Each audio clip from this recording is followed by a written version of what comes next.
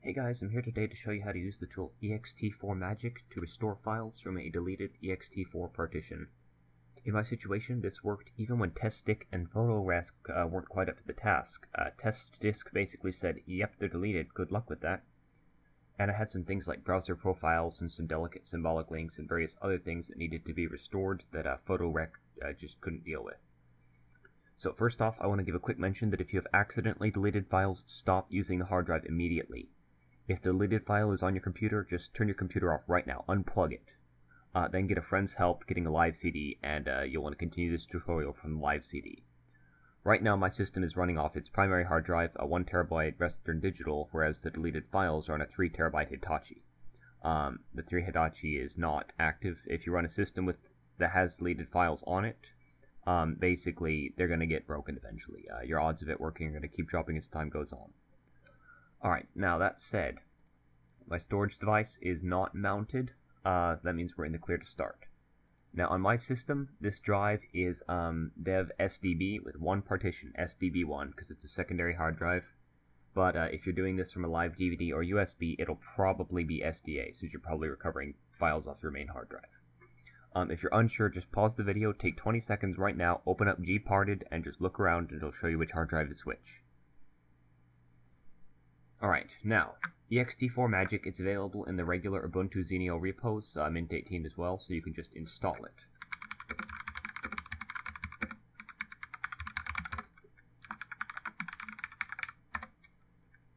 Alright, now we're going to begin with the file recovery. You're going to want to use uh, dump e2fs like so to figure out your file system's block size. Now, putting SDB1 there because that's what I determined. It might be different for you. Now, if you look for block size, block size, block size. As you can see on mine, it's 4096. Uh, you're going to want to remember that. Pretty easy. It'll probably be 4096, but your job might be different. Next, you're going to want to find the inodes that have your lost folders on them. Inodes are like where, um, inodes are basically how your folders are stored on the hard drive. Uh, you need to know the exact folder names for this though. If you don't remember them, testdisk can actually help you with that, uh, but that's beyond the scope of this video for today. Um, so basically you need to know the exact uh, folder names. We're going to try to save my pictures folder. I've saved a couple others, but I haven't uh, saved this one yet. So uh, we're going to see how this goes. Uh, I had it stored on the root, the very top folder of my storage drive. So what we're going to do is sudo ext4magic dev sdb1 um, dash S for the block size, 4096, um, dash J to tell it to print out the superblock information, and then dash F, and you're going to need to put the path to your folder. Um, in my case, this is just one single word. Yours is probably not going to be that simple. It would probably be something like home slash Jill slash pictures um, you'll need to figure that out with testdisk. So we're going to see what this does.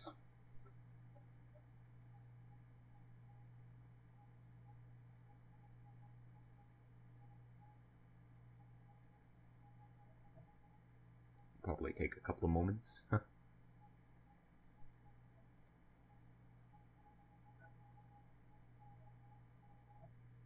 Alright, here we are. Now, as you can see, there's a bunch of uh of pictures. You know, these are these are clearly pictures. Now, find all your pictures. See that those go to this uh, inode. But as I can see here, uh, there are more pictures, and all these go to a different inode. Um, so in this case, I have two inodes I'm going to need to save. Uh, 135 something something and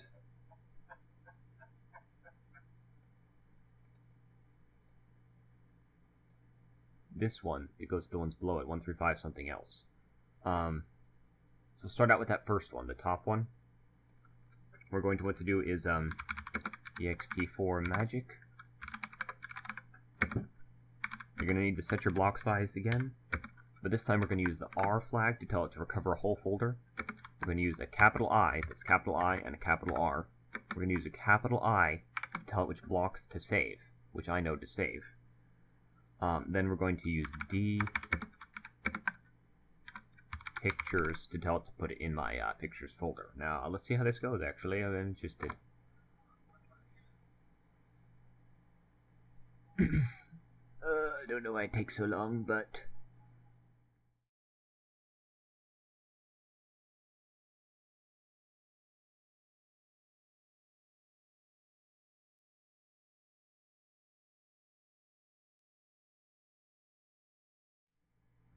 Hey, hey, hey, it looks like it's, uh, it's working. Uh, I can't access these right now because I'm running the tool as admin, so it's making the pictures only admin accessible. Uh, we'll deal with that. okay, then. Let's see.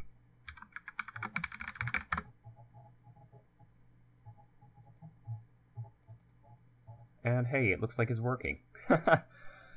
oh my gosh, this is awesome. Alright, so now we're going to want to, now that we've saved that uh, inode, we're going to want to uh, find that other inode and save it. Alright, second inode. And, uh, hey, I didn't realize it was going to be this easy. Just kidding, I did. I'd done it before, but, uh,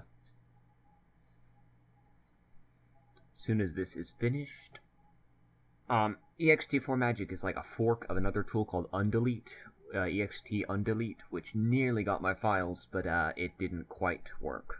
But uh, I think this is maybe made by the guys who uh, made Fedora. You'll have to look it up. Uh, it's a it's a great tool, man. It just uh, saved my life. I'll tell you what.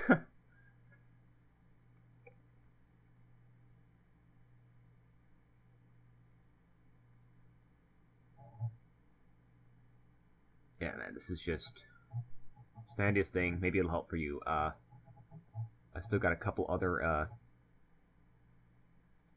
files that I'll need to.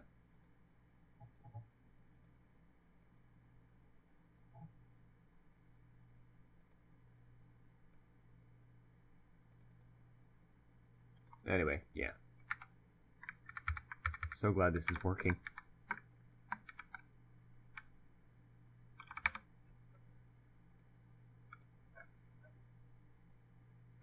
One three five two six six three zero five. It looks like it saved the same files both times. Okay, now these files over here are probably corrupted and lost, so uh, you might not recover everything. You know, it's a uh, it's a long shot, and it looks like both those inodes were the same, which is why I got the same um the same results each time. But anyway, that should be uh all my files. Uh, one last thing is you're just going to want to um change uh, change the files back to being owned by you. Uh, so I'm going to use the R flag for it to go recursively, the B flag uh, just in case. James, James, you're going to want to replace that with your own username, like.